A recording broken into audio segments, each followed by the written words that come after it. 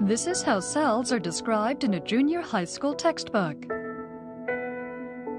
However, it's becoming clear that actual cells don't remain motionless like this, but various parts of a cell move dynamically. In fact, cells are amazing spaces where information is processed. And the transformation of cells has even changed the fundamental concepts of medical therapy. The life sciences have evolved drastically over the last decade. We would like to look back at recent trends and consider the medical revolution that is taking place today.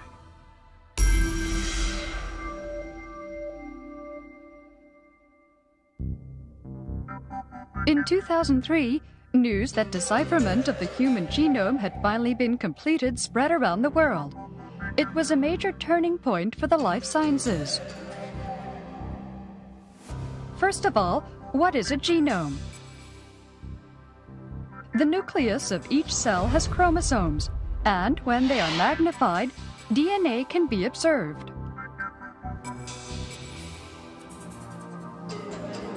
All genetic information is encoded by the sequence of the four bases found in DNA A, T, G, and C. The total information encoded in DNA is called the genome. Here, the DNA has just received the order to express genetic information. The necessary parts of the genetic information encoded in the DNA are exposed and transcribed to synthesize a messenger RNA or mRNA. This process is called transcription. The RNA moves to the cytoplasm of the cell, and proteins are synthesized based on the RNA information. In other words, the proteins that are the basic components to make up living organisms are all synthesized based on the DNA genetic information, that is, the genomic information. The completion of decipherment of the human genome means that the sequence in which human genetic information is encoded has been revealed entirely. So what advantages will that bring us? この人という生物を、 まあ、科学的により深く理解するためその基盤ができたんだと言えると思います。それによってまあ、生物のですねの進化だとか個別の遺伝子の機能だなんかを、まあ、比較しながらあの研究できるようになったと、まあ、そういう意味で驚異的なあのゲノム解読がインパクトを与えたということがあります。The human genome is constituted by 3 billion pieces of information, but only 0.1% of them differ in each individual. So nowadays the difference in just one base of the DNA is the focus of attention. The rest of the DNA sequence, besides the single base, is exactly the same. This is called a single nucleotide polymorphism, or SNP. Although it is only one base, it has now been clarified that it provides important information for medical care, such as the efficacy and side effects of drugs. Riken Yokohama Institute, located in Yokohama, Kanagawa Prefecture, carries out research on the association between the DNA sequence and disease. Using massive amounts of data collected on all kinds of diseases and treatment results, genomic research is now underway to investigate the relationship of SNPs and drug effects.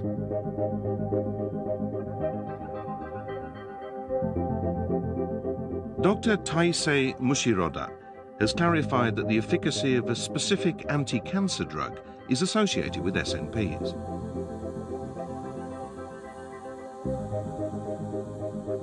It has been determined that a specific female hormone generated in the ovary leads to the proliferation of breast cancer. Today, an anti-cancer drug called tamoxifen is commonly used as a remedy for breast cancer.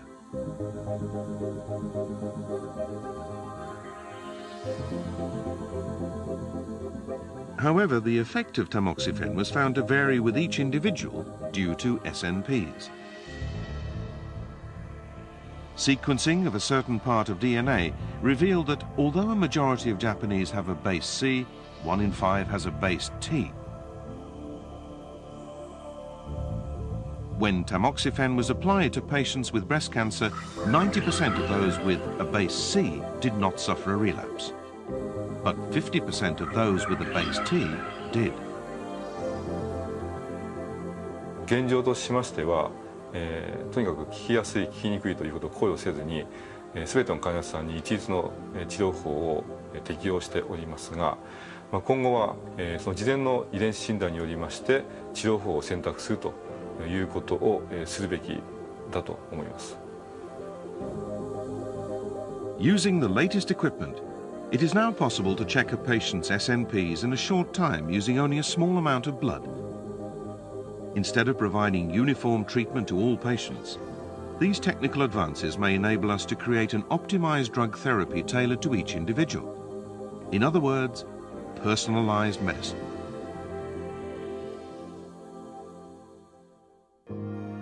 Nowadays, one in every 2.5 Japanese can develop cancer.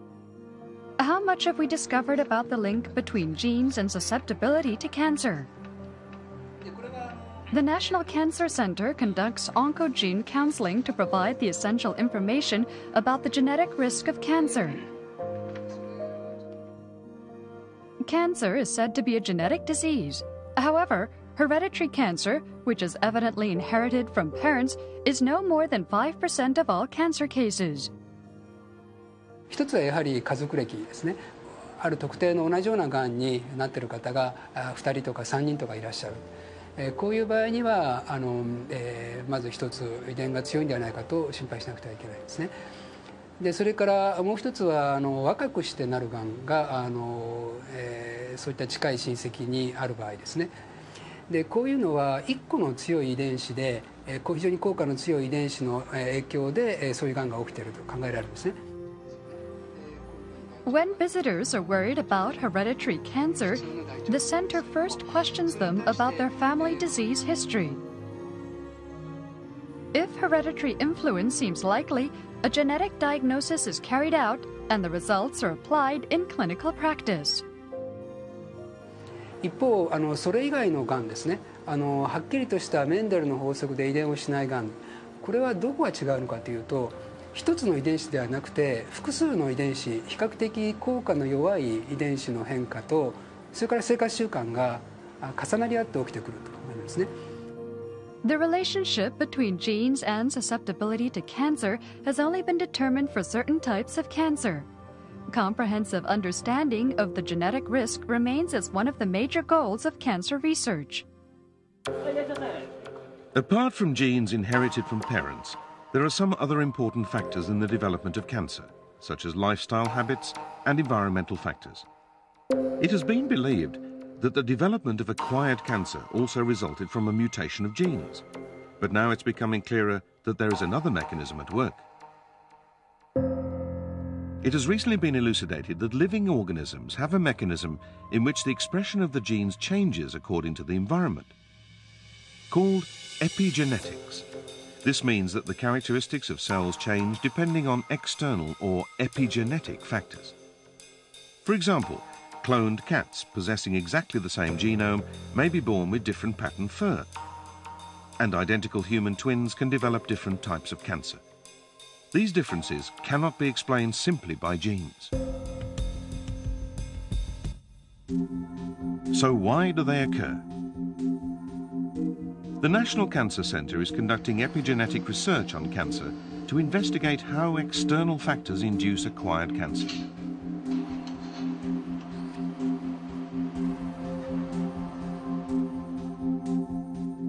Epigenetics is known to be caused by the process called methylation, which is a chemical modification of DNA. Gene expression normally occurs when DNA is unwound. However, methylation prevents this unwinding, and as a result, genes are kept inactive. These are Helicobacter pylori bacteria, it's been determined that once the stomach has been infected with Helicobacter pylori bacteria, it becomes susceptible to stomach cancer. Dr. Ushijima at the National Cancer Center has been studying the DNA methylation in stomachs infected with Helicobacter pylori bacteria. He discovered that many genes in them are methylated, including those that function to inhibit cancer. In other words, if the stomach is infected with Helicobacter pylori bacteria, the tumor suppressor genes are methylated and become dysfunctional. This results in the development of cancer. 環境因子への暴露を非常に正確に測ることができるわけです。今までどんだけピロリ菌に自分の胃は痛めつけられたかとかですね。皮膚なんかでどんだけ紫外線で痛めつけられていたか。あと口腔粘膜ではどれだけタバコ吸ってメッチル化異常が溜まってる。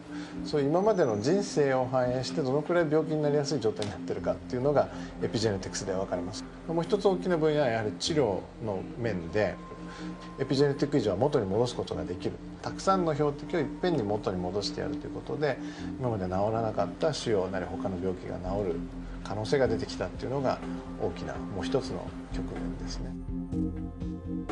It's believed that epigenetics are involved not only in cancer, but also in various other diseases. This research is being conducted as an important area of the life sciences.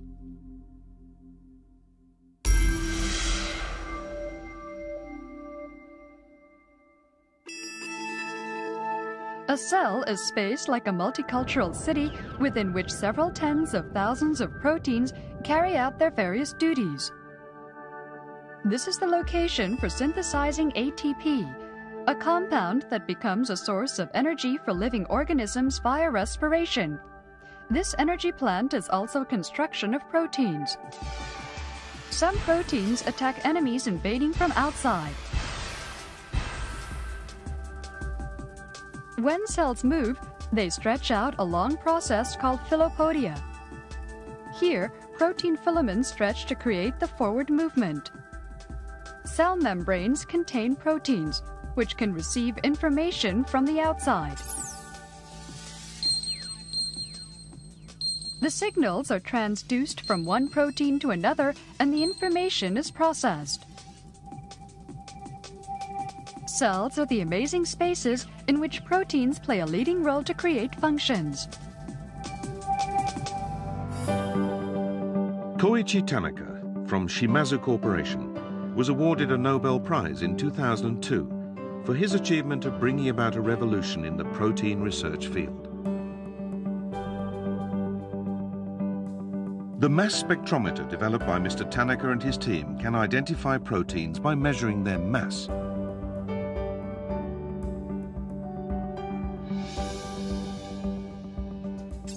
Proteins shoot out when a laser is applied to a protein solution mixed with special chemical compounds.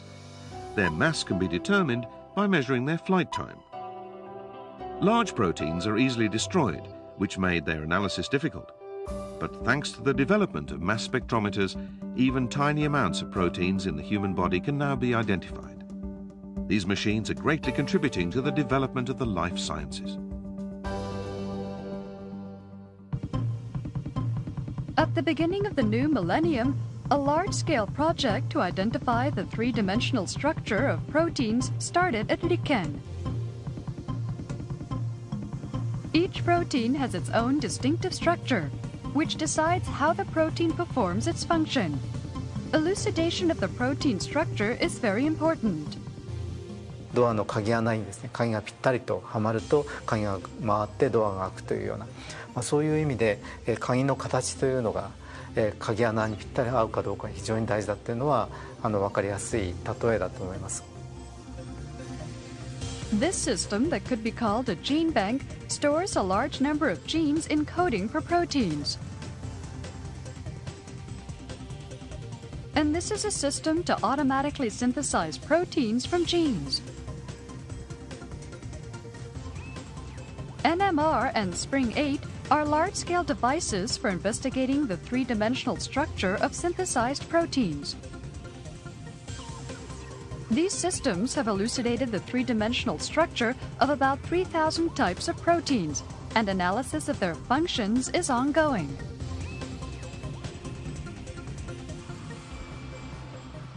For example, if the three-dimensional structure of proteins related to diseases can be determined it will be possible to develop drugs that specifically affect the target proteins. あの目的はそういう一つ一つのものを積み上げてそれで人という非常に複雑な分子のシステムが、えー、人として振る舞うようになるその仕組みを理解するわけですがそれをタンパク質の形という非常に基本的な性質から組み立てて、えー、理解したいあの一つのタンパク質ではなくて複数のタンパク質が協力して何か役割を果たしている様子というのもこれから研究していく大きな重要な課題になるわけですね。Research of disease-related proteins is now underway.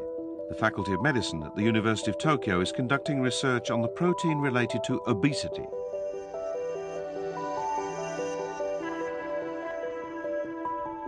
Dr. Ichiro Manabe performed experiments with mice to determine the nature of obesity. This is an image of a blood vessel in obese tissue. The blood flow is not smooth compared to that of a normal mouse. It was also found that the leukocytes in an obese blood vessel roll along rather than flowing smoothly, and sometimes adhere to the wall of the blood vessel. 今まで肥満 肥満っていうとまあその病気というよりはその病気を起こす土台っていうふうに考えられる嫌いがあったと思うんですけども肥満っていうこと自体がもう脂肪組織では立派なその病的な状態を引き起こしているということでそれと同じようなことが血管あるいはその膵臓や肝臓で起こった起こっているというのがよりその病気が進んだ糖尿病であったり動脈硬化であったりというふうに私たちは考えています。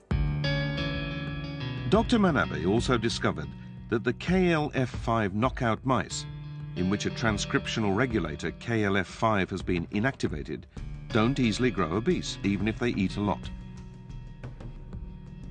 These photos of mouse livers show that the knockout mice don't develop fatty livers easily. Other differences found in the blood vessels and tissues prove that this protein functions in the heart and the metabolic organs. そういった分子を見つけてきてそれらの分子に対して効くお薬効く薬あるいは新しい治療法を作りますとその肥満の段階から動脈硬化あるいはその心臓の病気まで進んでいくその根元から治療するような方法へと発展させることができると思いますし。Proteins are the basic components of life. Research on their functions will become increasingly important in the future, both in the life sciences and medical therapy.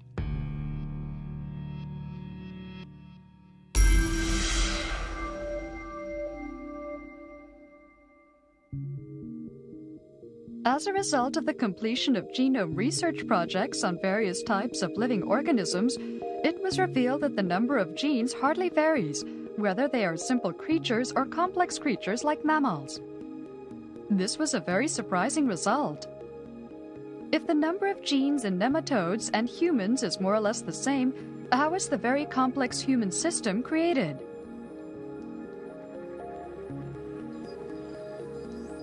The genetic information for producing proteins is encoded by DNA. But in fact, the genes encoding for protein information account for only a small percentage of the total. The rest, amounting to more than 90%, do not carry genetic information.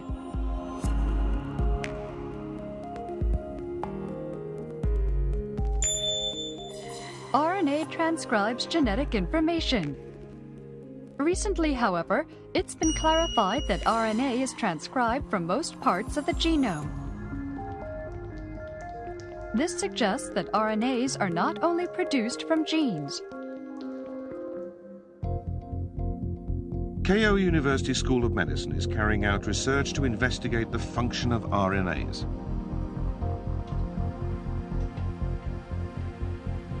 Among the RNAs, there are many short ones consisting of around 20 nucleotides. They are called microRNAs.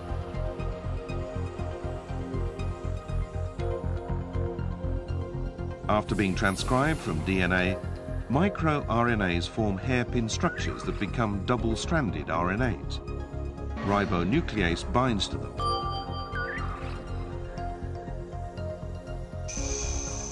The ribonuclease then degrades the messenger RNAs where the microRNAs bind.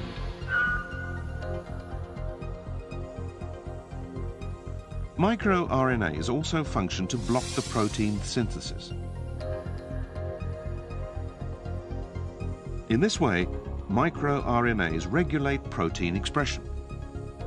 完全にこうオンオフみたいな制御じゃなくてその一つのマイクロ RNA が一つのメッセンジャー RNA に関してそのその100%をこう90%ぐらいに落としてる発現量だけどそのそういうものがいっぱいあるのでその1対1の対応ではなくて一つのメッセンジャー RNA がそのいくつものマイクロ RNA によって制御されるで一つのマイクロ RNA っていうのは一つのメッセンジャー RNA だけを制御してるんじゃなくていろんなメッセンジャー RNA を制御してるなんか非常に複雑なネットワークを形成してるんじゃないか Lower animals and humans don't differ much in terms of the number of genes. However, other research has discovered that humans have far more varieties of microRNA. 生物の複雑さを決めてるのはそのタンパク質の種類とか数ではなくてそのタンパク質をコードしてない領域から作られる RNA の種類と数なんじゃないか。っていうこれが新しいコンセプトです。でそのコンセプトが本当に正しいかどうか。っていうのを今あの多くの人が検証しようとしています。The identity acquired by humans during evolution may be controlled by the RNAs that are produced from somewhere else other than the DNA genes.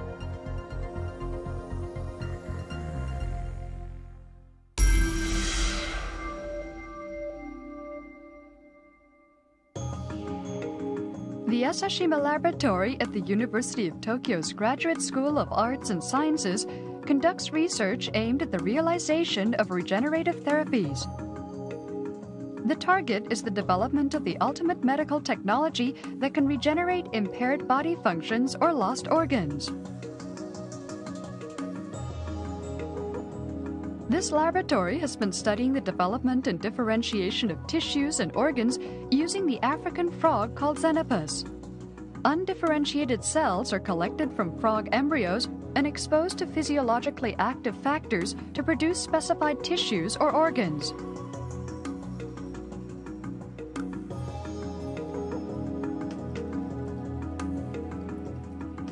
For example, this is a heart and a muscle differentiated from undifferentiated cells.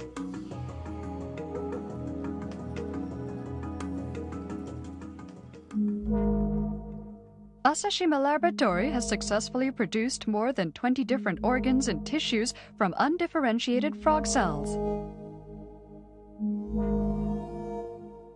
One of the important technologies to realize the regenerative therapies is the production of pluripotent stem cells that can differentiate into any tissues and organs. For example, after fertilization, early embryonic cells have the potential to differentiate into any cell types. However, during the process of differentiation into all the different kinds of cells that constitute the body, in other words, in the development of blood cells, skin, or muscle, the pluripotential is lost. Generally, cells differentiated into specified cell types can no longer return to the condition of pre-differentiation. Reprogramming one's differentiated cells to the original condition to retrieve the potential for diverse differentiation was made possible by using pluripotent stem cells called embryonic stem or ES cells. First, a fertilized egg is collected and its nucleus is removed. Another nucleus taken from a third party is transplanted in its place. The transplanted egg has the third party's DNA with the pluripotency of the fertilized egg. This is the basic method to produce ES cells. The Asashima laboratory also succeeded in producing differentiated cardiac muscle from mouse ES cells based on the knowledge acquired from frogs. 完全な膵臓っていうんですかねそれをマウスの ES 細胞から作ることも初めて成功しましたしそれからあの専門細胞ですねその我々喉とかあるいは輸卵管とかですね腎臓にあるんですけどもそういう専門細胞を試験管の中で作ったり、えーと、脊椎動物のですねやはりその共通のシステムっていうんですかねそういうものが初期野の中ではその非常にあるいは器官形成というか臓器形成というかそういう仕組みの中で見えてきたというようなことだと思ってます。However, in order to apply ES cells to medical therapy in the future, several issues will have to be solved. First, the issue of fertilized human eggs is a big ethical matter. And there is a concern about rejection because cells originating from someone else are transplanted to the host. Professor Shinya Yamanaka has made a breakthrough to overcome this matter. He set up the hypothesis that fertilized eggs or embryos have factors which can reprogram differentiated cells to a pluripotent condition.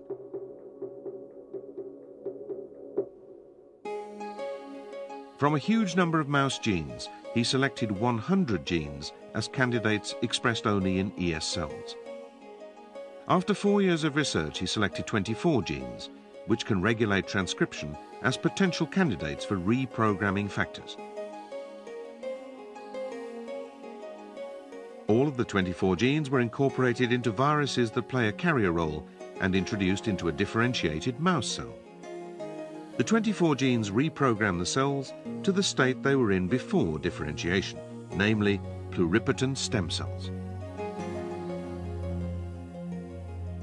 Furthermore, Professor Yamanaka eliminated non-essential genes and identified four genes that can induce the pluripotency. The pluripotent stem cells produced by this method are called induced pluripotent stem cells or iPS cells. Professor Yamanaka also succeeded in producing human IPS cells in November 2007. It was the first time in the world that human pluripotent stem cells have been created without manipulating a fertilized egg.